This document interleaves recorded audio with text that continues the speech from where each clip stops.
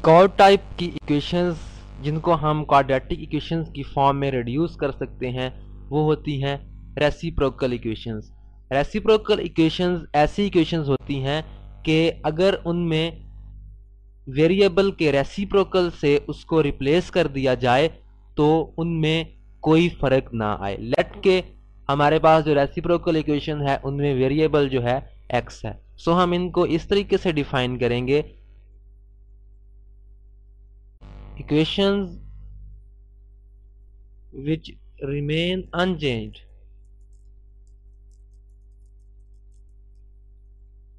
when x is replaced by 1 over x.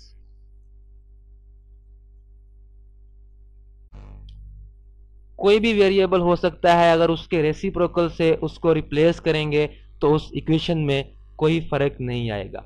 इन equations में variable और उसके रेसिप्रोकल का जो कोफिशेंट हैं, उनका मैग्नीट्यूड सेम होना चाहिए।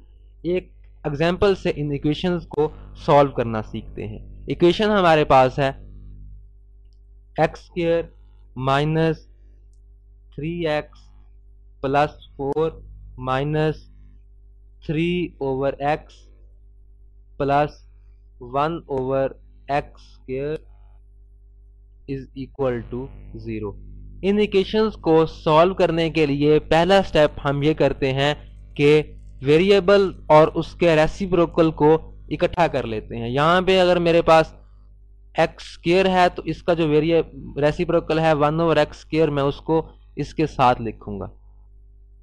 यहाँ पे एक्स है तो इसका जो रेसिप्रोकल है,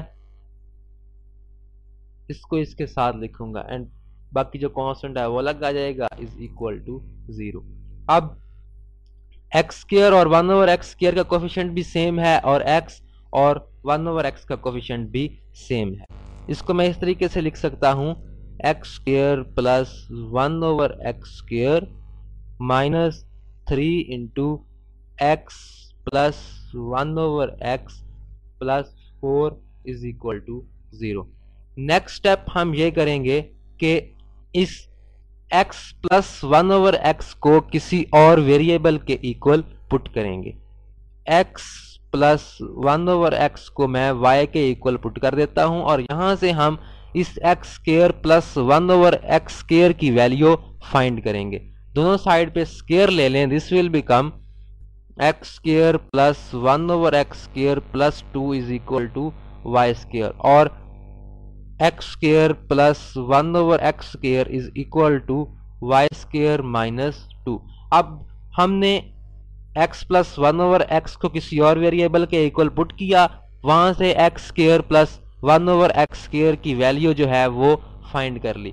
अब ये जो वैल्यूज़ हैं, इनको हम इस इक्वेशन में पुट करेंगे। जब पुट करेंगे तो इक्वेशन हमारे पास बन जाएगी x square plus one over x square की जगह पे y square minus two minus three into x plus one और एक्स की जगह पे वाई पुट करेंगे plus four is equal to zero ये हमारे पास बन गया y square minus two minus three y plus four is equal to zero और y square minus three y plus two is equal to zero अब ये हमारे पास एक क्वाड्रेटिक इक्वेशन बन गई है, जिसको हम किसी भी मेथड से सॉल्व कर सकते हैं। मैं इसको अगर बाय फैक्टराइजेशन सॉल्व करूँ तो ये मेरे पास आ जाएगा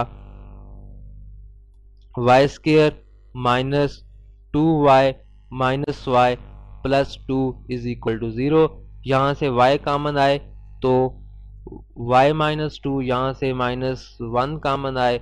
तो y minus two is equal to zero दोनों में से y माइनस टू कामन आ रहा है।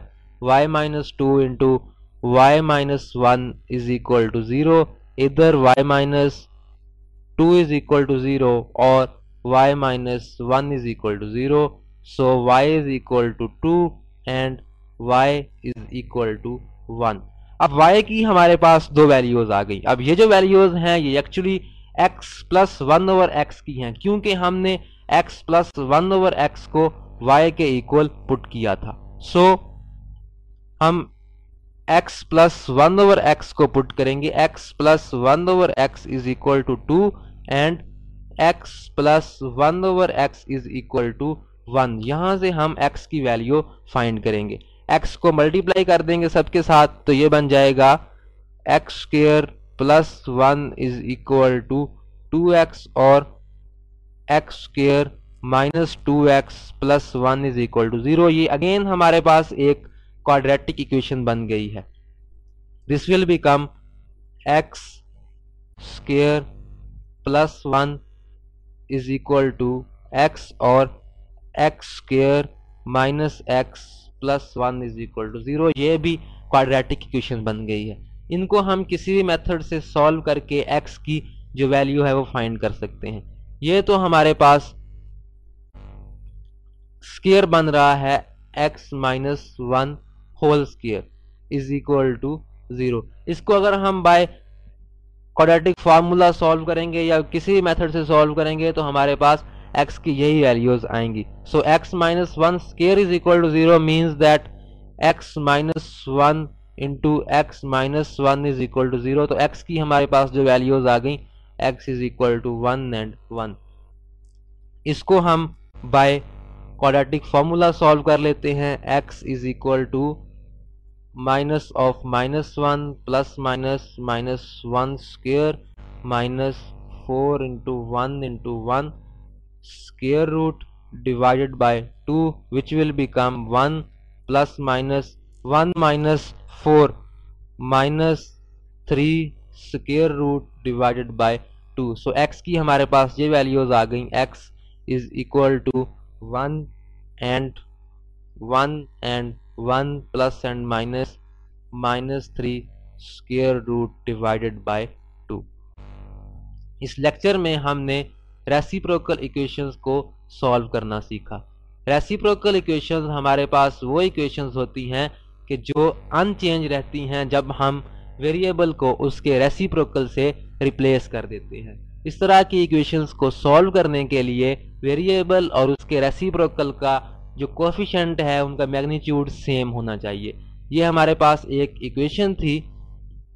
X square minus three x plus four minus three over x plus one over x square is equal to zero सबसे पहले हमने variable और उसके रेसिप्रोकल्स को इकट्ठा कर लिया। X square plus one over x को इकट्ठा कर लिया और एक्स माइनस वन और एक्स को इकट्ठा कर लिया। देन उसके बाद इसको हमने किसी और वेरिएबल के इक्वल पुट करके इक्वेशन को रिड्यूस कर दिया क्वाड्रेटिक इक्वेशन की फॉर्म में। देन उस क्वाड्रेटिक इक्वेशन को सॉल्व कर लिया, वहाँ से y की वैल्यूज़ आ गई और उनको, उनसे हमने अपने ओरिजिनल वेरिएबल की